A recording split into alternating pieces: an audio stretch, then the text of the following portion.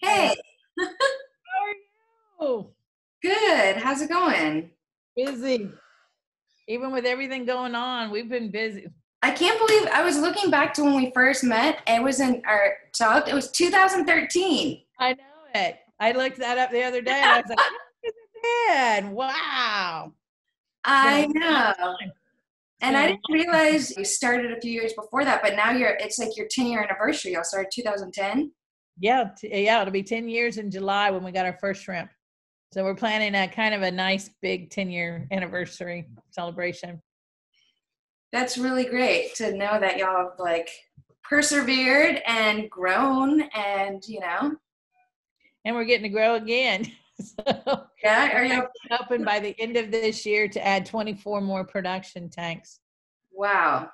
We're selling shrimp faster than we can grow it. So and I don't like telling people we don't have shrimp.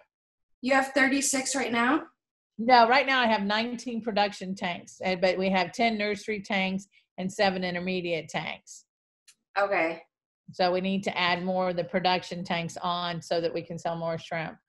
The nursery tanks we're doing great with. I mean, we're still doing an 80 to 90 percent, 95 percent survival rate in our nursery. So Yeah, that's one of the big things that you, you guys started doing, right? Was providing the yeah, other farmers, yeah. Yeah.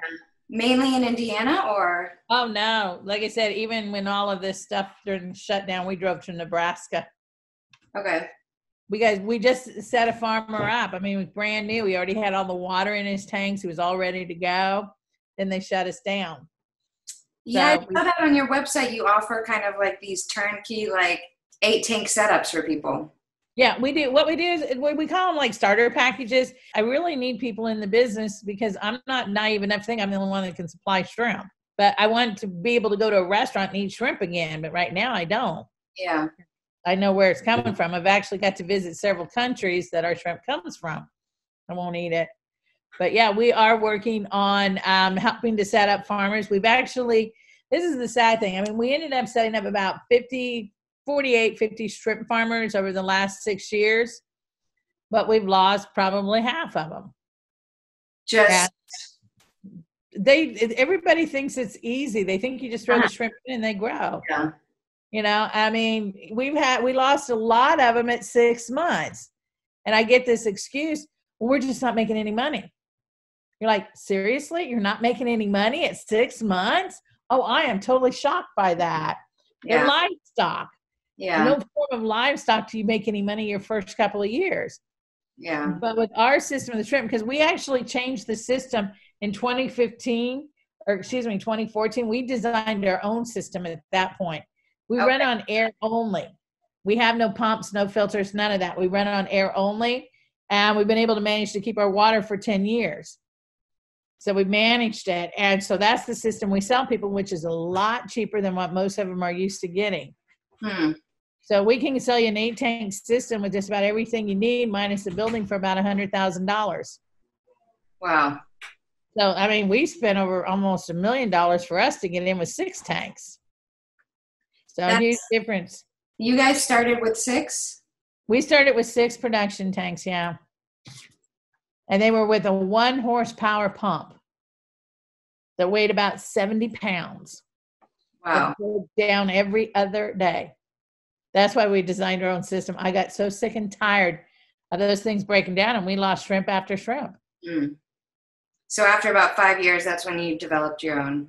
It took us a couple of years to develop it, and what we developed is actually it's it's so primitive compared to a lot of other things that we go and visit. Sometimes I tell my husband, I said, I feel like we're back in the prehistoric days, but it's working. Hmm. because I always tell everybody Mother Nature's complicated enough. Let's just work easy with her. And that's all we do. We just kind of maintain the water. And as long as the water does good, my shrimp do fabulous. And that's a concept people don't get. Yeah. How much kind of coaching do you guys do you guys give when you give them their We eighteen? offer consulting. We work with them every single day for the first six months. Oh wow. So we do what we call an ongoing learning because I can't train them here anymore because our water's so far advanced that we're so far advanced that whatever they need to do, we can't do it here to show them how to do it. So when we deliver the first batch of PLs, we spend three to four hours with them training them at their facility.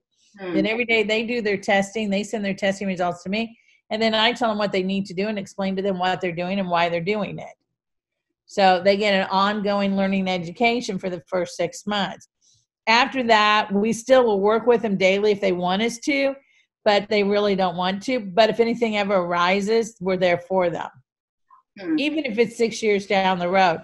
Our second farm we ever set up was actually in Switzerland Oh yeah.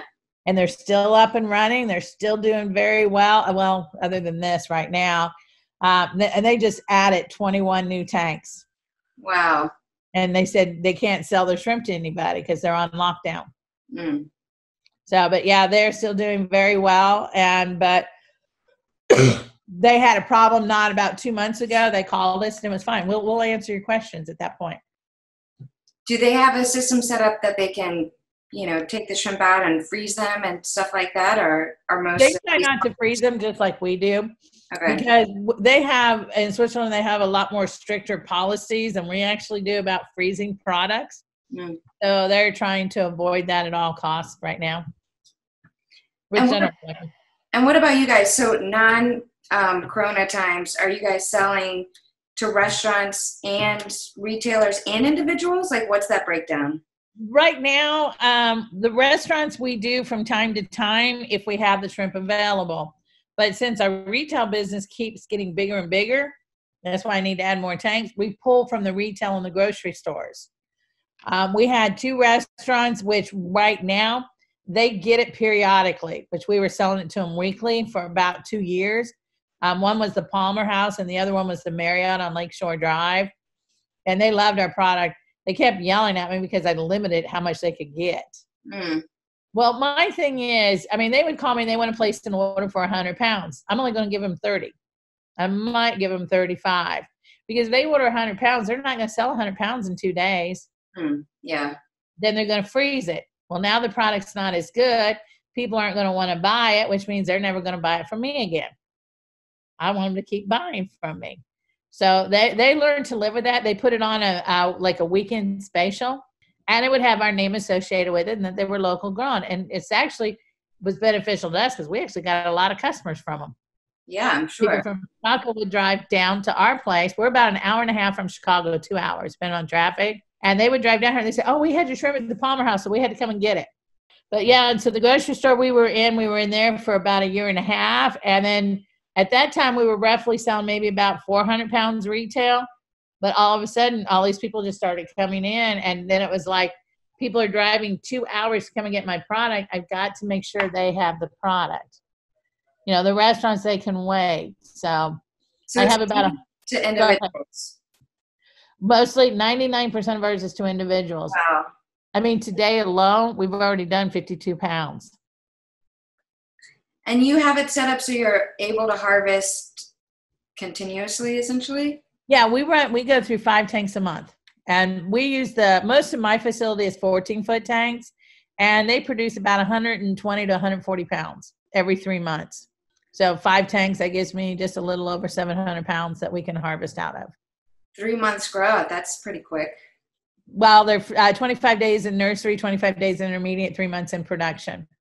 Total 150 days. Okay. And when they're at about 150 days, they're weighing anywhere from 17 to about 22 grams in weight. And that's what we sell them as. And the fact that we sell them live yeah. kind of helps us out a little bit. And, you know, I never even really wanted the concept of selling them live. I actually like the idea of processing them. But we were down at a farmer's market, and there was a guy two booths down from us selling what he called flash or fresh frozen shrimp. And he tells me his are fresher than mine, and mine are alive and swimming. and I'm sitting here looking at him like, really? Mine are swimming. And well, we found out about six weeks later that he was actually going to like a restaurant supply house, buying a shrimp and putting his label on it. Hmm. And you know, and we're and I'm sitting here thinking, you know, I would have never in a million years ever thought of that. But I thought, you know what? When people we we don't harvest them until they place their order. When they see that they're still swimming, they know the freshness of the product. So, so you have the what you're growing and then you have what you're kind of setting up for people and then you have your plants like what's the kind of breakdown of what you spend your time on and how you're making your money well we also do tourism we we don't really advertise our tourism other than what's on our website and this year was the first year we actually had a lot of school tours scheduled we had 19 of them for the end of the year and they all got canceled because the schools shut down. So we, you know, we lost all of those. Uh, but they all are planning on doing them when school comes back, which is fine. Yeah. Um, we also do what we call, like I said, our discovery tours, which are people are interested in shrimp farming. Um, we just we did crawfish for the last four years. We were very successful at that. Oh yeah, I saw that on your site, and it's a different kind of crawfish than the Australian red.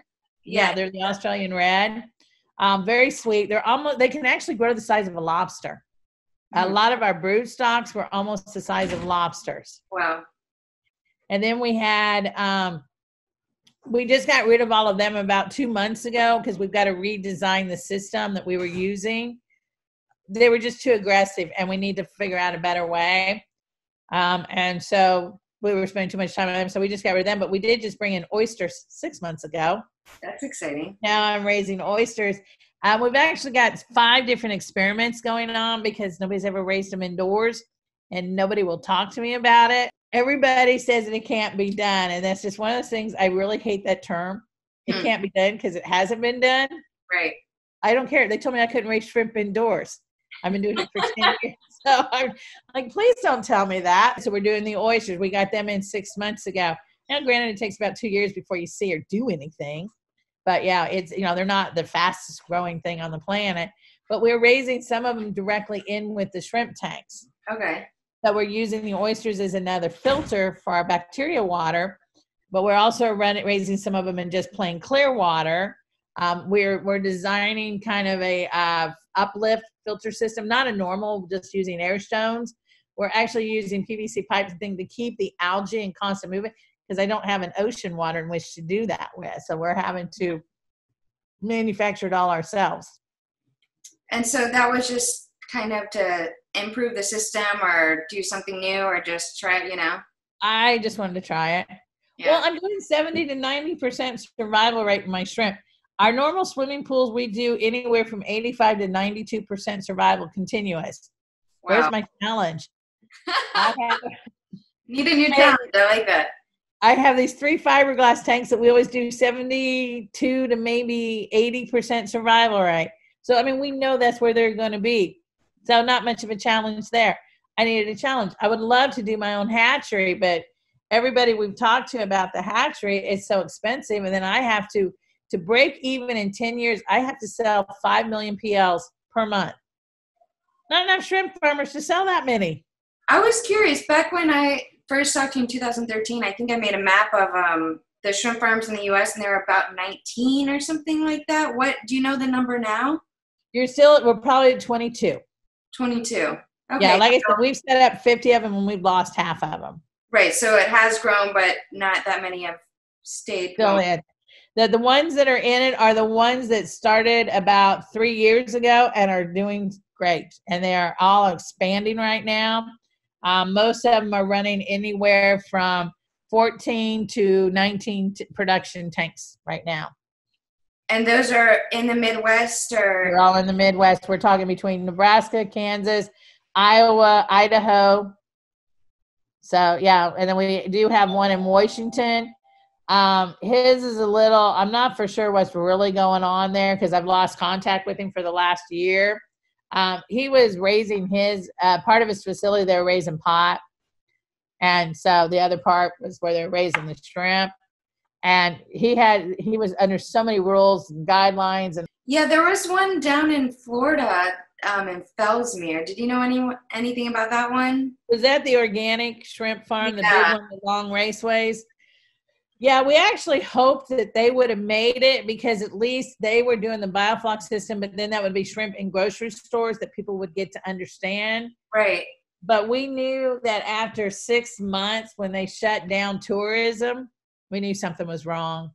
but we understand using biofloc in the raceway systems it just doesn't work. That's why nobody stays in business. Mm, they needed 40 million dollars to continue on. Mm. and they couldn't get the 40 million dollars. So yeah it was kind of sad. Um, like i said well Marvesta the first shrimp farm they actually use the raceways but he no longer uses raceway. He actually uses a system very similar to ours Actually, uh, when when I went up there for our shrimp film, I think they were using the tank system like y'all's already. So Yeah. Well, do you know any any of the farms that sh- ship nationally? I mean, None of them that I know of. I know that the one in Minnesota, I know that that's their goal, and I know there's one in Texas that ships nationally. oh, natural Other shrimp than that- maybe. Yeah, natural shrimp. So most of our farmers, they're still considered. I mean, they're we're still small in scale, um, but most of them are selling to. They're selling. Most of them are selling right out their front door.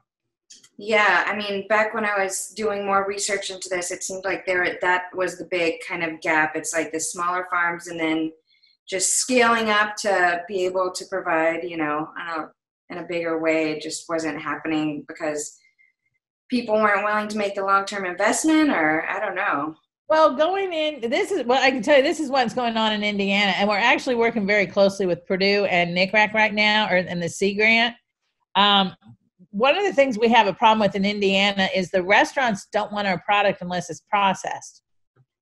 I can't process it. I have no way to process it. As far as headed and peeled, They want the head off and they want it deveined. That's the only way they'll take our product. Well, in order for me to process it, there's a processing plant that said that they would take my shrimp in Kentucky. Mm, Well, Kentucky's about four hour drive. So now I got to haul it down to Kentucky and then I got to haul it back. Not worth it. Because I mean, you know, that's going to end up costing about $30, $40 a pound for shrimp. There is a mobile processing plant, uh, a mobile plus processing like trailer.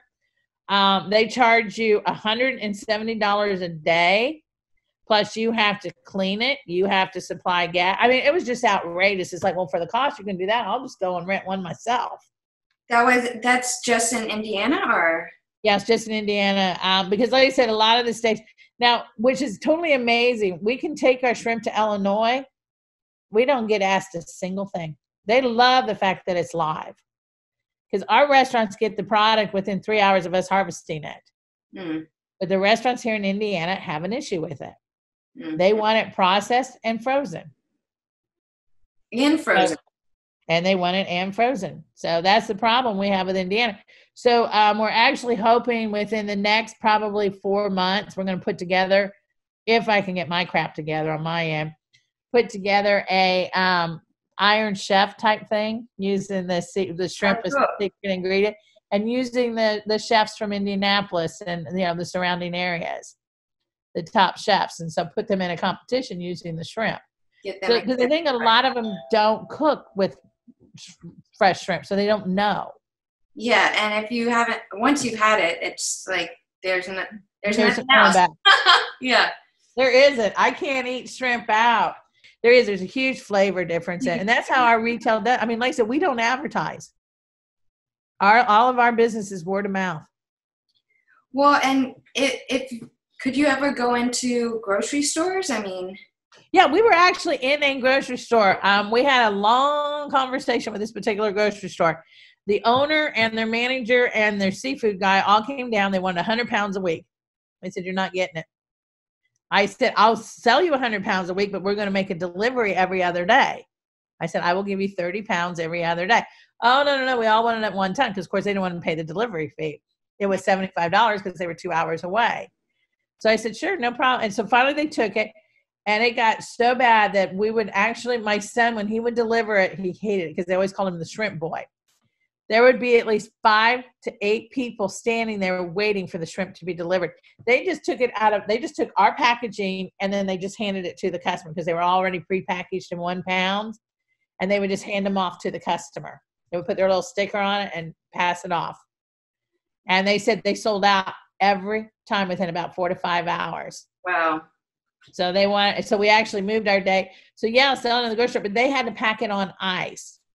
But one of the things that the only reason we agreed to do it with this grocery store was that if any shrimp was left over, they would cook it and then sell it as a cooked product. So they always had they they said only the first time did they ever have shrimp left over. They said after that they literally had people wanting to know when it came in. They knew what day it came in on and they were waiting on my son.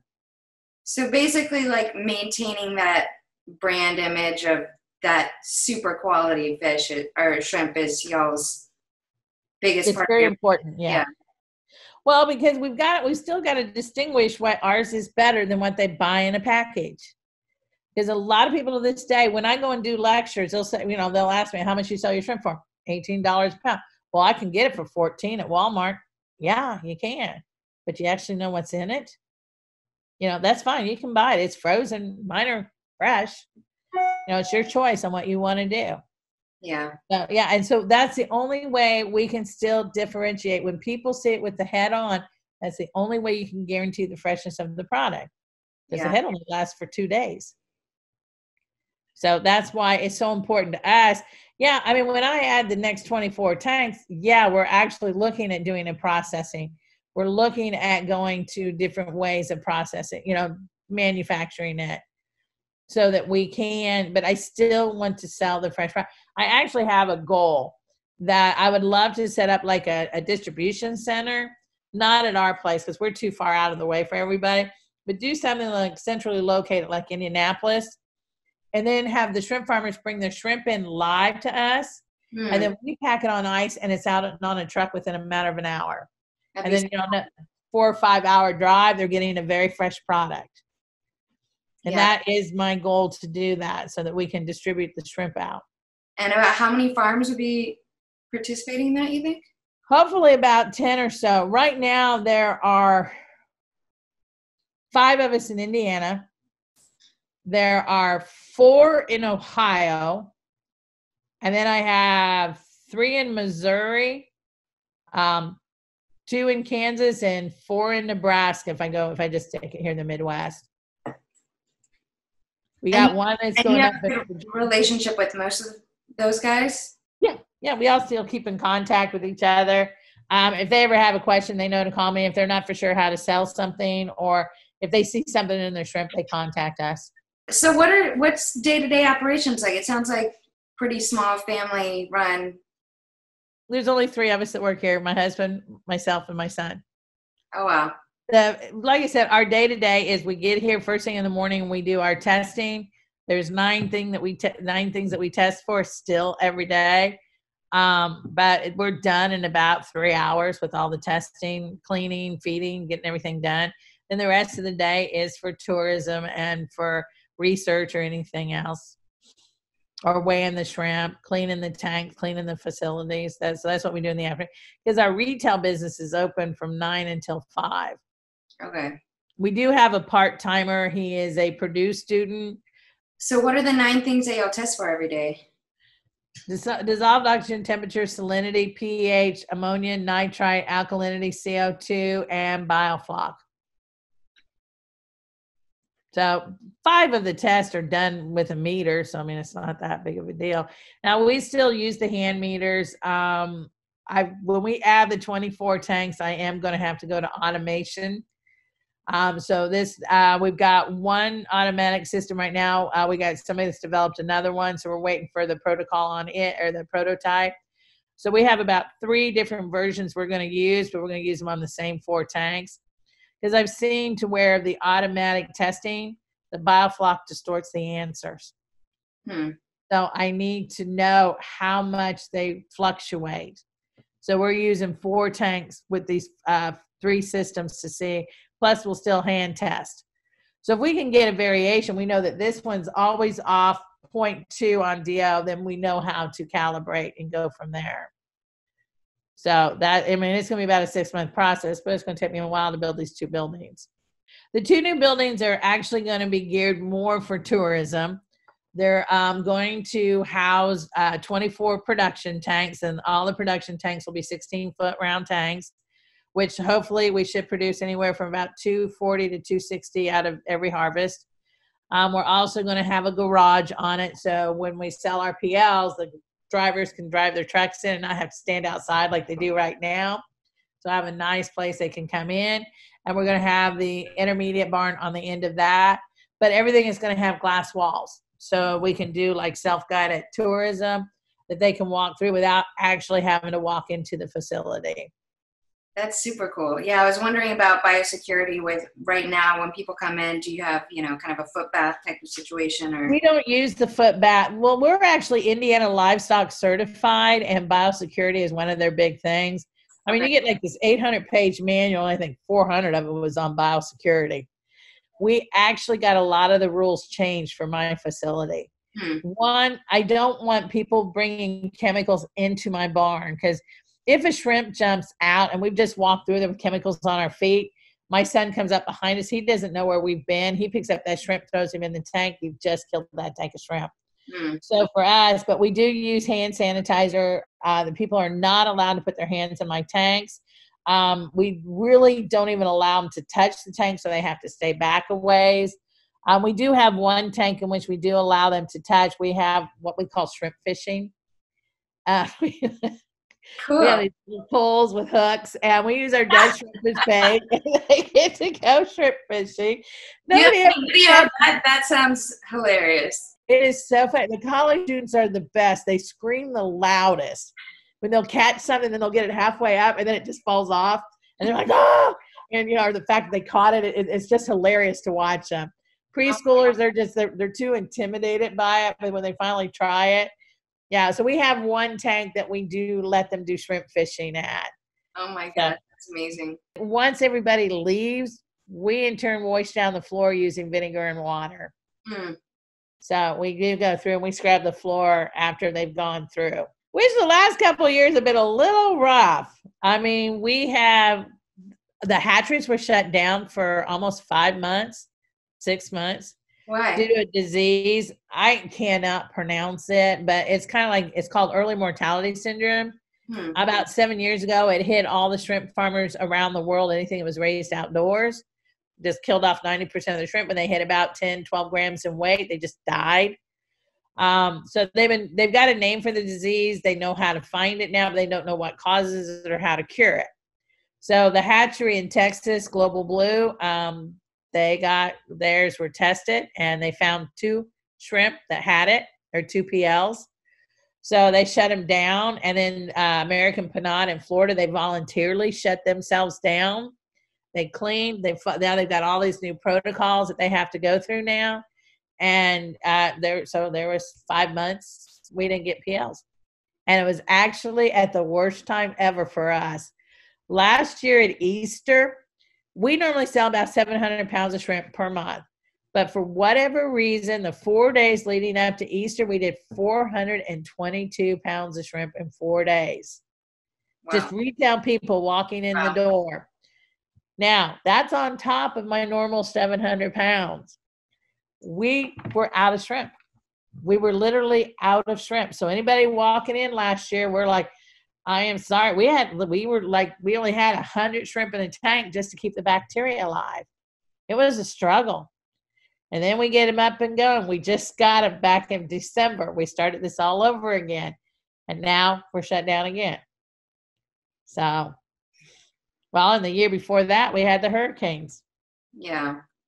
Both Texas and Florida were hit, and SIS went out of business.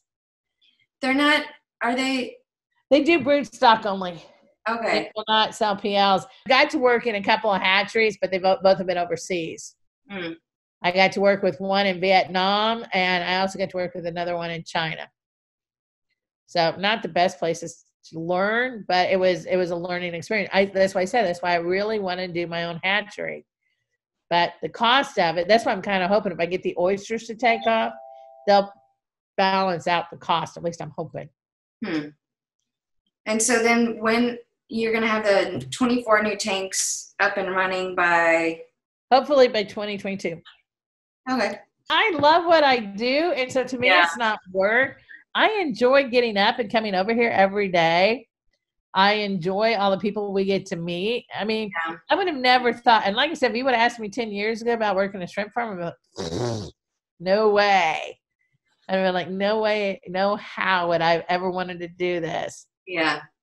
But I came out on day two and I missed three days of work. Mhm. in 10 years. Yeah, you love it. I do. I love it. I love coming out here. I love making sure. I don't know. Maybe it's that little OCD partner that I have. Everything has to be a certain way. We've had employees in the past, and they just made me a nervous wreck. They really did, because I never felt like they put or cared about the animals. Yeah, I I was I'm curious about that. Yeah, people who aren't like necessarily as connected to you know the the idea of you know growing these animals. You know, are they going to have the same attention to detail and all that? And I mean, like I always tell everybody, I work for the shrimp. They don't work for me. Yeah. I mean, I got to do what they want. We're doing really well here. I mean, surpassed anything we ever thought possible, to be honest with you. And everybody's like, "You're still bit," and I still eat shrimp three nights a week. Three nights a week, yeah. Three nights a week. Um, I because I still like it. I try different experimentations on how to cook it, but a lot of times I'm so tired, I just throw it in the skillet. Yeah, it's so easy. It is. And that's why a lot of our customers keep coming back. And on average, a lot of them drive two hours That's amazing. to come and get our product. We have a lady who comes down every other month and she lives in Ohio, Cleveland, Ohio, and she drives six hours one way to come get our product. And she doesn't, I always say we offer 10 pound discount. If you buy 10 pounds, I'll give you $2 off. She only takes two pounds. Wow, six hours for two pounds of shrimp. That's a 12 hour drive. I said, I love my shrimp, but I'm not even going to drive it. That is so cool. I know it. And that's why I said that's why I like the retail side of this because these are the people I get to meet. Yeah, Restaurant people, you get to see a waiter and that's about it. yeah, You drop off the shrimp and you're out the door. But they get to know a little bit about these people. And that's why I like this side of it. My husband hates it. He hates the retail side of it. Well, think about it. If I sell shrimp every Thursday, I get a check. There might be three or four days where we don't sell any shrimp. And then the following day, we put 100 pounds out in four hours. yeah, That's a lot of dipping of shrimp yeah. because we don't drain our tanks in order to dip the shrimp. We hand dip them. Less stress on the shrimp. Yeah, keep the shrimp happy. I need them alive. They make me money. yeah, So I tell everybody, I said, I need my shrimp alive. They make me money. And now we actually make money on our dead shrimp. And that's another part of our business we can't keep up with. We sell all of our suiciders as bait. I get $6 hmm. a pound for my dead shrimp. When we first started out, I had 300 pounds about every month available. Now we can't even get 10 a week. And I get people yelling at me because I don't have bait available. I'm like, I don't kill them to make them bait. that's a good problem to have for sure. It's not It's always here. exciting around here, never the same day twice. yeah, That's I think that's why I like it. It's never the same day twice. God, my hair. always, always a challenge, always an adventure. It is. And that's why I like aquaculture. I would have never thought there's always something new. Always something new. Like I said, raising the crayfish, now doing the oysters. If I can figure out the oysters, I'm hoping to go to scallops. Ooh, I love scallops. That'd be I do too. really And I love oysters. That's why I was all excited. I just want to do the oysters for myself. great. And I'm actually pretty proud of myself. Right now, I have 18,000 oysters at our facility, or I have a little less, but overall, I've only lost 400. It's great. And when did you? How long? You, We've had them for six months. six months. Okay. I don't know what I'm doing, but they're still alive. For me, doing the research on it's the fun part. Yeah. That's the part. I, like, I always tell my husband, I said, maybe I was meant to do research because I really do like the research, trying to, you know, learn as much as I can from them and digging into what I can find out about oysters. Well, it sounds like you've been problem solving a ton too. So That's all I can do. That's what I like to do. It's exactly what I like to do. I love, love problem solving because that's what I always think. That's how you, you're never bored. mhm. That's how things get done. I go to Purdue University. There's four different classes that I speak at twice twice a year, and two of them are agriculture. One of them is food nutrition, and the other one is water. I'm still not quite for sure why I'm over there for the water side of it, but I do. But we also have the FFA students come through here, and last year we had 1,400 FFA students in four days. They did their tours. They were stacked on top of each other from eight o'clock until five o'clock in the evening. wow. Now, what I've loved is that right after they left in October, I had five students call me with their parents. They came out to learn about shrimp farming. They wanted to add it to their business as well. Uh, most of them were doing dairy cows. And then we also find out that a lot of these students are in agriculture, but they've changed their majors over to aquaculture, knowing now that there's another side of farming. So, yeah, especially in the Midwest, I can imagine, you know, you guys don't have a ton of aquaculture in general, right? I mean, no. But what's amazing, Indiana is one of the largest aquaculture states. Now, because of the shrimp farming? Not just due to shrimp, there are a lot of fish farms. There are a lot of fish farms in Indiana. I think there's like 30 different uh, fish farms in the state of Indiana, including a couple of um, fish hatcheries. Tilapia and tilapia, barramundi, trout, um, bluegill, koi. Um, we actually have salmon now here being raised in Indiana. Um, oh, is it the aqua? Bounty? Yeah, we still call it Bell Aquaculture because that's what they used to be. Mm. Um, yeah, they're they're quite an interesting group. I don't know. I think it's cool on one hand, but I also don't like it on another hand. I mean, their whole purpose is just to raise the salmon faster, yeah. not better, just faster. Have you? And, how do folks locally feel about it? Have you heard much? Most of them don't even know about it. Yeah. Most people don't even know about it. Only a few of us, even in the aquaculture, because my husband and I both are on the board of the Indiana Aquaculture Association, and they, you know, I actually mentioned it to the board, and they were all like, "What? Really?" Really? And I'm like, "Yeah." They had this huge news article about it. Uh, we're actually going to talk to them about come Christmas time. We would like to offer some of their salmon here hmm. at our facility for, for our customers to come in. Um, we're getting some uh, trout that's uh, being processed in Kentucky. We're going to bring in some live tilapia and some live bluegills to sell also. But then I will have to have my health inspection. I'm already food server certified. I've just kept it from working in the cafeteria. We already have our HACCP plan, so I just need to get the approval of the health department. To, to be able to sell those different species? No, just to be able to process it. Mm. have it processed and sell it. So, because the fish, we want to process it here. Like, I mean, if I sell tilapia, I like the idea of picking out a fresh fish. I love the idea. You know, it's in my tank. I know how healthy it looks, but I don't want to take it home and gut it. I yeah. did that a lot when I was a kid when we'd go fishing with my dad. So we're actually we're working with Purdue University. Some of the students that are culinary students. What better skills for them to learn? Fillet of fish. Definitely. So as an add-on cost, we will offer the person to have a fillet fish but yeah, when we became livestock certified, we we were the first aquaculture facility in the state of Indiana to do that. Now almost every aquaculture facility is livestock certified. Why what's the the livestock certify is just that next step. It's kind of like a good housekeeping seal. Okay. Um, it gives you it actually it was really one of the best things that we ever did. It actually made us think outside the box on a lot of things that we never would have thought of. One of the main things most farmers never think about fire. Mm-hmm. Your building's on fire. What are you supposed to do? And it, we learned a lot by that. One of the things that we actually we have a post out front that has our sign on it. Well, on that post is a bright yellow neon PVC pipe. Inside it is our floor plan. The fire department knows exactly what that is. So they know where all of our chemicals are stored uh, for the farm, for the greenhouse. They know where all of our tanks are at. So that when they come into our facility, instead of just letting it burn, they know where everything is.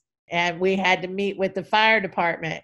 So they all come in once a year and they get a tour of the facility. And like I said, I mean, we actually asked them to point out anything that might be wrong so that we know to fix it. And so far, they haven't found anything. We invite the health department in once a year, even though we don't have to, because there are no rules or regulations for us. But all the farms that we set up, they act as if we do have the rules. Hmm. Because in our manual, this is the stuff we talk about. And if I ever walk into their facility and see it, they're going to be in a lot of trouble. Because I always look at it this way. You know, I mean, you hear about the catfish farmers where one catfish farmer took a shortcut how people don't want to buy farm raised catfish. I love farm raised catfish. I think it tastes better. You know, but people don't they have that perception of it. So my problem is if anybody ever sells subpar shrimp, it doesn't hurt just their business, it hurts mine as well. Absolutely, yeah. So this is why I'm very cautious about everything we do.